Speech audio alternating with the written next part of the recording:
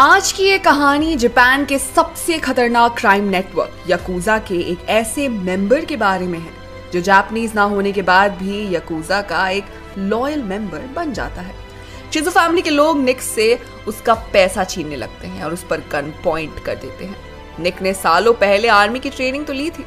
इस समय वही काम आई और वो वहीं पर दो लोगों को मार डालता है। लेकिन शिरोमाचू फैमिली का बॉस इस एक्ट से बिल्कुल खुश नहीं था।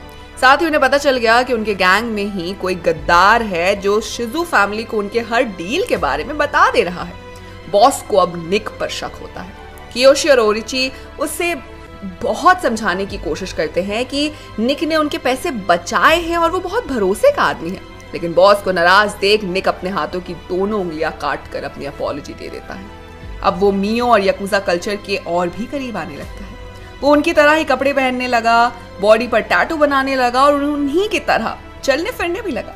उसकी गैंग में एक्सेप्टेंस पार्टी के बाद कियोशी उसे समझाता है कि वो मियो से दूर रहे, क्योंकि गैंग मेंबर्स की फैमिली हमेशा अनसेफ रहती है। जिसके बाद निक उसकी बात को मान लेता है।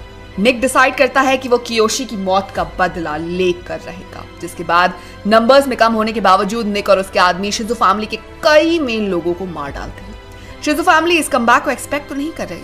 इसलिए वो शांति प्रस्ताव भेजते हुए शिरुमात्सु फैमिली को एक जगह बुलाते हैं। जब दोनों फैमिलीज़ वहाँ पहुँचती है तो बॉस देखते हैं कि ओरिची शिजु फैमिली से मिला है और वो उनसे माफ़ी मांगना चाहता है। बेटे के मुँह में बॉस आगे बढ़कर ओरिची को गले लगाते हैं। तभी ओरिची बॉस की पीठ पर चाकू मार देता है और बाकी गार्ड्स शिरुमात्सु फैमिली को पकड़ लेते हैं। लेकिन जिसे आज वो अपनी फैमिली में ऐड कर रहे हैं, वो एक बुज़ुर्ग और अपने ही बाप को मारने वाला अपराधी है। और ये किसी को भी धोखा तो दे ही सकता है।